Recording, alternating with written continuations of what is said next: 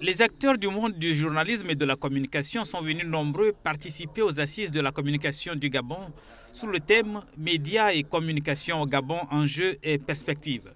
Il s'agit pour les participants d'identifier les opportunités, mais aussi les problèmes et de proposer au gouvernement des solutions idoines. Car en vérité, le marché audiovisuel existe bel et bien en Afrique en général et au Gabon en particulier. Aujourd'hui, les opérateurs, tous confondus, de satellites, de programmes, de contenu, dont Star Times, le chinois, qui aujourd'hui engrange 4 millions de foyers, sont sur le continent. Ça veut dire quoi? Ça veut dire que nous sommes dans un continent attractif. D'un, ça veut dire qu'aujourd'hui, la communication en Afrique, par ses contenus, doit pouvoir être une terre de prédilection, non seulement pour les communicants et les organisations africaines en tant que telles, mais pour l'ensemble de la planète. Pour les hautes autorités gabonaises, l'idée est aussi de responsabiliser les médias dans le développement et la cohésion sociale.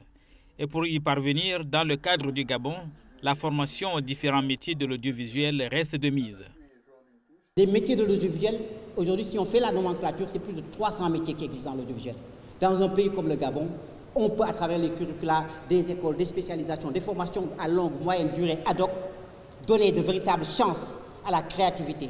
Et de ce point de vue également, et des contenus, le fait de faire des structures de doublage, et je suis en train de faire un projet ici, permettront aussi bien du français qu'à l'anglais, mais aussi aux comédiens d'aller vers cette direction. Ce n'est pas par hasard qu'il y a quatre commissions institutionnelles, euh, contenu, information, euh, support et financement. Les, quatre commissions, les quatre thèmes vont de pair.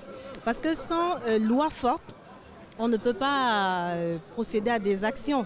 Euh, si vous avez remarqué, la plupart des intervenants euh, ont insisté sur le cadre institutionnel.